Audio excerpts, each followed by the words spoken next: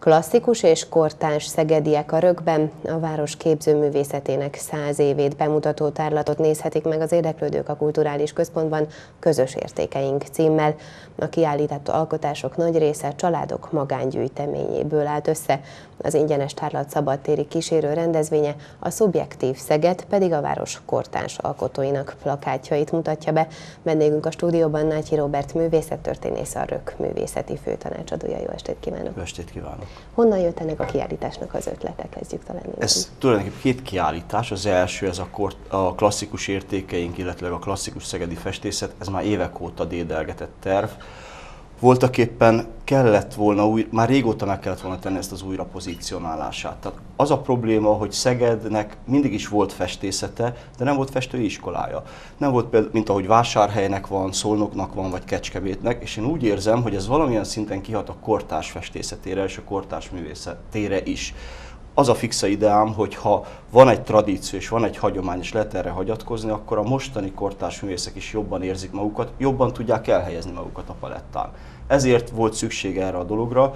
Hozzáteszem, hogy az ötlet nagyon régi, és nem is az én fejemből pattant ki, hanem még tizenvalány évvel ezelőtt Apró Ferenccel beszélgettünk, hogy milyen jó lenne egy ilyen kiállítást valamikor megcsinálni. Legalábbis ez volt az ős magja. És aztán tulajdonképpen ez most, most lett aktuális ez a, ez a kiállítás, és nem majdnem mindegyik az alkotás, hanem szinte az összes alkotás magángyűjteményből van, tehát egyetlen egy sincs, ami közgyűjteményi tulajdon lenne. Milyen kincseket találtak, kiknek az alkotásait, és milyen munkákat? Egyrészt kerestünk is, tehát nagyjából, tehát ez egy koncepciózus kiállítás, ezt hozzá kell tennem, akár egyfajta szubjektív tárlatnak is tekinthetnénk, ez majdnem ez az André Marrói én múzeumom gondolat. Arról van szó, hogy Nyilasi Sándortól Winkler Lászlóig, tehát az 1890-es évektől nagyjából az 1980-as évekig már lezárt életművek, tehát ezt hangsúlyozom, kortárs művész most a rögfalain belül nem mutatkozott be ezen a kiállításon. Nyilasi Sándor, Dinnyi és Ferenc, Erdélyi Mihály, Kukovec Nana, Heller Ödön, Winkler László, Dorogi Imre, akik Zoltán István, akik bemutatkoznak, mind olyan képzőművész, akik hitem szerint többet adtak a városnak. Tehát nem a helyi színezet volt a lényeg, ez nem egy helytörteti kiállítás. Nem is ez volt a célja, nem is ez volt a terv, nem is ez valósult meg. Olyan művészek, akik szerintem egy kicsit több szerencsével, egy kicsit jobb marketinggel, vagy ha jobb helyre szünetnek, idézőjelbe teszem, mert én szeretem Szegedet, tehát nem erről van szó, hanem hogyha jobb körülmények közé születnek, talán akár nemzetközi rangú művészek is lehetnek. Ezt egyébként a kiállítás is nagyon jól érzékelteti. Említette, hogy kortárs munkák most ugye nem láthatók a rögfalain belül, azok kívül láthatóak. Így van, azok. tudni erről a kísérő rendezvényről? Ezt a Kölcsei utcában rendeztük meg. Tulajdonképpen ez a szegedi kortárs művészet egy szegmensét mutatja be, hiszen zömében reklámgrafikusok. Maga a lehetőség, az adottság is erre predestinálta őket, hogy reklámgrafikusok jelentkeztek, nekik is pályáztattuk meg, az alapvető szempont az volt, hogy a Szeged szónak mindenféleképp az alkotásokban szerepelnie kell, Innentől kezdve viszont szabad interpretációs lehetőség és tér nyílt, és hát ezt nagyon sokféleképpen oldották meg. 31 néhány alkotás érkezett be, és a Rögpalota mellett a Kölcsei utcában láthatók ezek az alkotások mindegy két hónapig. Mi volt a cél, szembeállítás vagy párhuzamba állítás a két kiállítás egy idejű megrendezésével? Alapvetően ez is valóban egy koncepció része, sőt ez kiegészül 4-én pénteken, február 4-én Pataki Ferenc 70. születésnapi jubileumi kiállításával. Tehát különböző szeg szegmensei mutatkoznak be itt egyszerre a szegedi képzőművészetnek. A fő rendezvény és az első rendezvény az, ez a klasszikus kiállítás volt, amihez rendeltük hozzá a többit, és aztán ezek szerencsésen így gravitáltak egymáshoz, hogy egyszerre három szegedi kiállítás jelentkezik.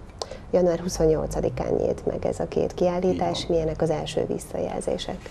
Hát az egyik, ugye az utca kiállításét viszonylag könnyű mérni, hiszen óriási a lehetőség. Azért látnunk kell, a kiállítás már nem csak arról szól, mint a 20. század, hogy a galéria falaira kirakunk képeket. Ahhoz nagyon nagy a művészekkel, nagyon nagy nevű művészek kellenek, hogy bevonzunk nagy tömegeket. Viszont ez az utca kiállítás már most nagy tömegeket vonz. Hozzáteszem, hogy a benti kiállításunk is egészen látogatott. Sőt, hát a, ezt már le tudtuk mérni abból, hogy mennyien ajánlottak fel alkotásokat. Tehát a magángyűjtők, több mint 50 magángyűjtő jelentkezett, és több mint 20-nak az alkotását vagy tulajdonát válogattuk be. Tehát ezt lehetett tudni, hogy itt, itt zsibong a város. Tehát e, ebbe a két, ezen a két területen biztos, hogy sikeres kiállítás lesz, és hát az eddigi néhány nap is ezt mutatja. Ön szerint művészettörténészként hogyan látja ön, ugye a kiállítás címe az, hogy közös értékeink. Ezek az értékek mennyire állandóak, mennyire változtak az elmúlt száz évben? Igazából nem változtak, nem nagyon tudtak változni. Tehát vannak begyökeresek. Például a Nyilasi Sándor mindig is egy, egy jelentős alkotó volt, állandóan gyűjtötték a szegediek, de nem csak szegediek, hiszen ő Nagybányáról indult. Ez mellett voltak épp egy csokornyi, egy tucatnyi festőről beszélünk most.